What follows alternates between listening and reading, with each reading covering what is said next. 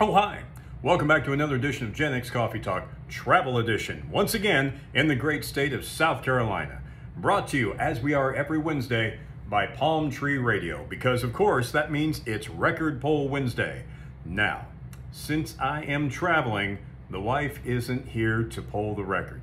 I know, I'm, I'm misting up too, just thinking about it.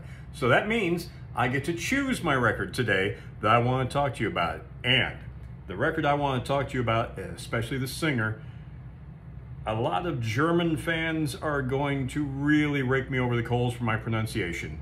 But I am absolutely in love with and have always loved the German singer Nena. You may remember Nena as the singer of 99 Luftballons, or as it was in the States, 99 Red Balloons. I love that song in 83, so that when I moved to Germany in 87, I got everything I could of hers because she had some amazing albums.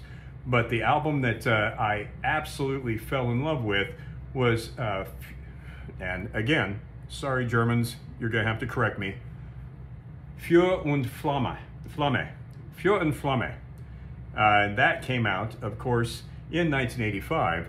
But I love that album because it has my favorite single that she's ever done in my mind, which is called Irgendwie, Irgendwo, Irgendwann, which translates to any place, anywhere, anytime. Now, all of her stuff is on YouTube, and I highly suggest that you go out and you watch Nena now, especially the live stuff that she does, because she is incredible live. And the video that she did for uh, Any Place, Anywhere, Anytime with Kim Wilde of uh, We Are the Kids in America fame is just phenomenal.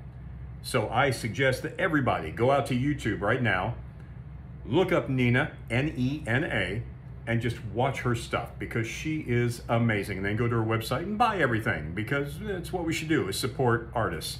So I hope you know who it is. If you do, please let me know. If you know anything about her I might not know, please let me know and tell me who you would like to see on Record Pull Wednesday. The wife will be back next week, or I'll be back to her, and she'll be back to pulling the records, I promise. In the meantime, Prost.